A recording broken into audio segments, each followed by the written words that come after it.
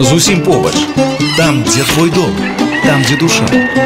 Сіла прыцягнення. Убачыць помнік барочнай архітэктуры, прайсціся па кіламетровай набярэжнай каналы і трох плошчах, зазірнуць у заволак пераскок і на оперную вуліцу, зрабіць фота каля эйфелевай вежы, пазнаёміцца са стараславянскім ідалам і зубам старажытнага слана. А ўсяго і патрэбна прыехаць у горад сталіцу сланоў. Гэта слонем. Мяне завуць Аляна Давыдава прывітанні, паехалі. Сіла прыцягнення. На асабістым аўто маршрутцы ці на цягніку слонем у любым выпадку будзе рады вітаць кожнага, бо падаецца гасціннасцю ў яго ў крыві яшчэ моцнае жаданне адразу прыцягнуць увагу сваімі асаблівасцямі. Дык вось, калі прыехаць у горад па чыгунцы, то адразу славутасць кідаецца ў вочы будынак вакзала. Узвялі яго на мяжы 19-20 стагоддзя ў стылі неабарока, яго самая яркая дэталь франтон над уваходам. У 1922 вакзал перападавалі, як менавіта можна ўбачыць у нашы дні. Паглядзелі і не затрымліваемся, бо слонем падрыхтаваў шмат цікавага, шмат вады, да прыкладу, у першую чаргу пад назвай шчара. Падказвае наш гід старшы навуковы супрацоўнік раённага краязнаўчага музея мястаброўскага Алена Сухарукава. Нашы гараджане вельмі любяць сваю раку шчару. Акрамя шчары у нас працякае яшчэ рака Іса. Ну і наогул мы гаворым, што наш горад існаваў на пяці рэках. Ну, на жаль, іншыя ўжо абмялелі. рака Валобрынка яшчэ такая вядома. Рака Вельжапка наогул пераўтварылася ў невялічкі ручаёк. А яшчэ ў слонямі ёсць канал агінскага дзядзькі вядомага Михала Кляфаса, які часта прыязджаў госці і да сваяка і ў сам горад. Так што можна сказаць, зараз гуляючы па слонямі, ідзеш па тых месцах, дзе бываў агінскі і то, які паланэс напісаў і то, які канал стварыў. Канал быў пабудаваны на сродкі Михала Казіміра Агінскага ў той час, калі ён быў старастам нашага горада. Гэты канал яго называюць яшчэ малы канал агінскага. Працягласць яго адзін кіламетр і працякае ён менавіта па тэрыторыі горада Слоніма. Гэты канал спраміў русла нашай ракі шчары, А з'явіўся для таго, каб падвесці ваду да палаца і тэатра, які пабудавалі недалёка ад акваторыі. Я думаю, многім вядома, наколькі гэта быў унікальны тэатр.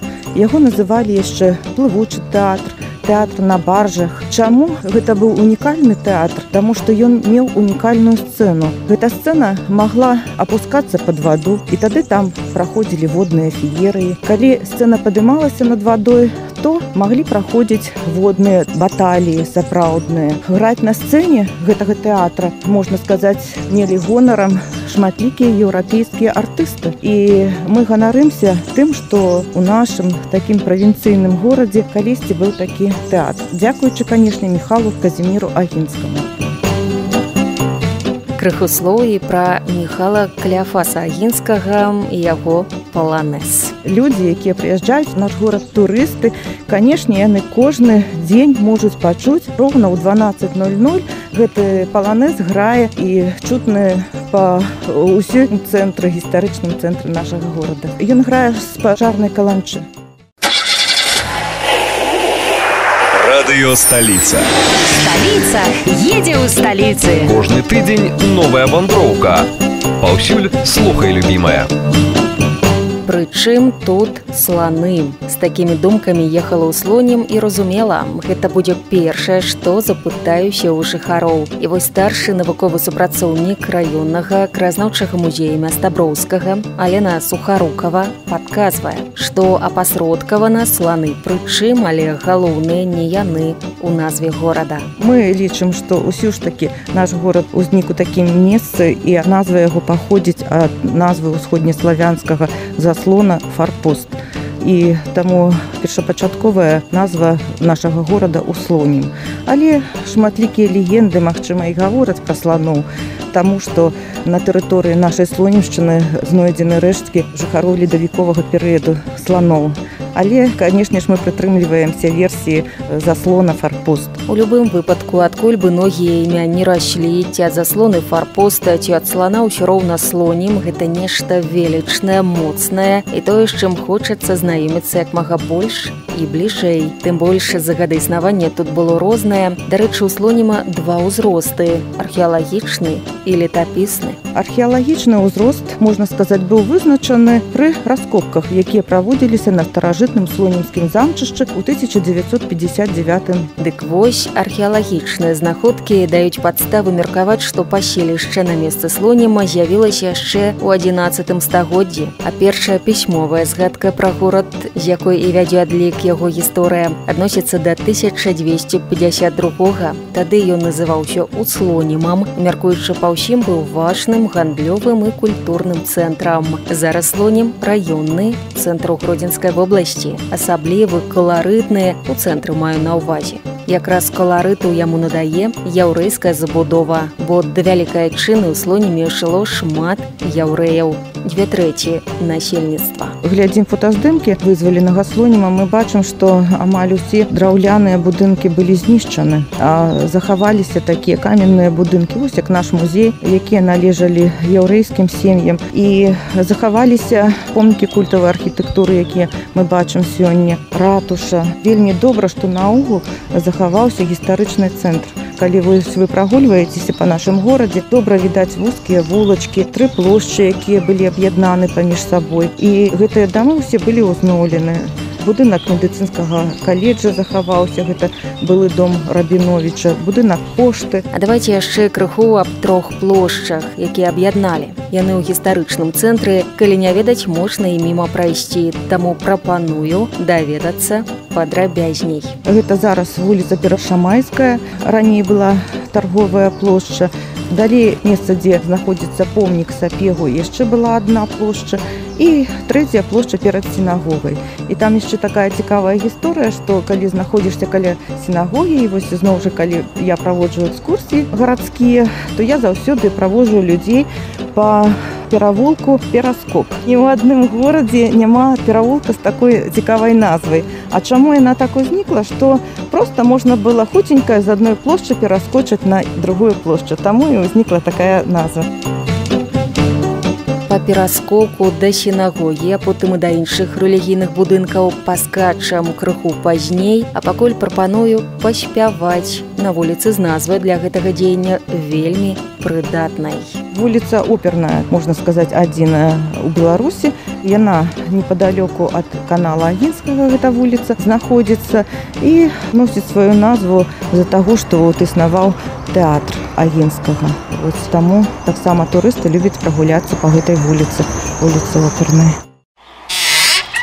да родных куточкаў сіла прыцягнення у чым душа горада. Для мяне ў старажытных будынках і вадзе з апошні у слоніма ўсё ў парадку. Дзве ракі канал як мінімум да і з дамамі справы ідуць добра з рэлігійнымі да прыкладу. Падказвае наш гід старшы навуковы супрацоўнік раённага краязнаўчага музея мястаброўскага алена сухарукава. Спаса преображэнскі сабор. У 17 стагоддзі там стаяў касцёл канонікаў латыранскіх які пазней быў перабудаваны у спа спаса преображэнскі сабор у 19 стагоддзі. Гэта быў такі цікавы сабор трохкупальны.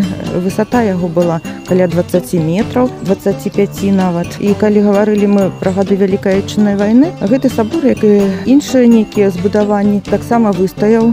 Даху там не было толькі але у 60-х годах ён быў узарваны. Але прыйшоў час калі з'явілася ідэя храм аднавіць пры дапамозе ўсіх неабыякавых яна ажыццявілася сабор адрадзілі. І вось вы бачыце які ён цяпер прыгожы. Ён калі быў трохкупальны то зараз асноўных там 5 купалоў. Высота яго звыш 40 метраў і купалы гэтыя бачны з любой кропкі нашага горада ён такі можна сказаць стаіць на ўзвышшы. Гэта адзін з найбольшых такіх сабораў у гродзенскай вобласці.